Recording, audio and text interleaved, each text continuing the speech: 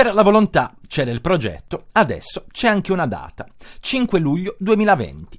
E questo è il giorno che sancirà ufficialmente l'avvio della raccolta differenziata porta a porta in tutta la città di Trani.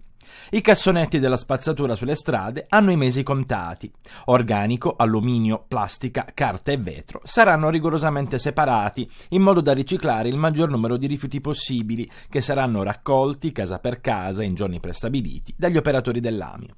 Le modalità del nuovo servizio sono state illustrate questa mattina nel corso di una conferenza stampa a Palazzo di Città. Partiamo, siamo convinti di partire, il, finalmente partiamo, era uno degli obiettivi di governo dell'amministrazione del sindaco Bottaro, cercheremo di eh, offrire ai cittadini un servizio di qualità la città lo chiedeva con forza il, il, passaggio a questo tipo di servizio. Adesso speriamo che i cittadini dire, eh, siano pronti eh, per rendere quel servizio dire, eh, un, in maniera migliore rispetto a quello che eh, è stato fatto in passato. La marcia di avvicinamento al nuovo sistema di raccolta si svolgerà a tappe. La prima è quella del 16 marzo, quando comincerà la distribuzione dei kit destinati a famiglie e attività commerciali. Avremo 30 operatori eh, specializzati che distribuiranno l'attrezzatura e forniranno agli utenti tutte le informazioni.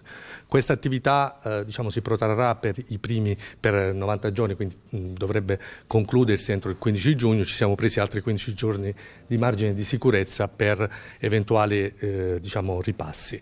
In questo eh, diciamo, processo e anche nella fase successiva del porta a porta ha un ruolo decisivo il centro comunale di raccolta. Vogliamo che i cittadini tranesi familiarizzino sempre di più con un elemento che è essenziale nel momento in cui partirà eh, la raccolta porta a porta, poiché è una valvola di sfogo fondamentale dove recarsi nelle ipotesi in cui ci siano delle esigenze particolari. E ciascun cittadino sarà chiamato a fare la propria parte per garantire il corretto funzionamento del nuovo servizio. Questa grande voglia di iniziare la, la differenziata porta a porta si deve tramutare anche in grande disponibilità da parte dei cittadini. Una volta terminata la distribuzione eh, dell'attrezzatura e con l'acquisto dei mezzi il, il, pallino passa nelle mani della città. Ogni cittadino dovrà eh, rendersi molto disponibile, avere grande pazienza per cambiare le proprie abitudini. Sono convinto che superato il primo periodo, cambiate le nostre abitudini, diventeremo veramente anche noi una città virtuosa. La città lo aspettava da tanto tempo, ora ci aspettiamo noi tanto dalla città.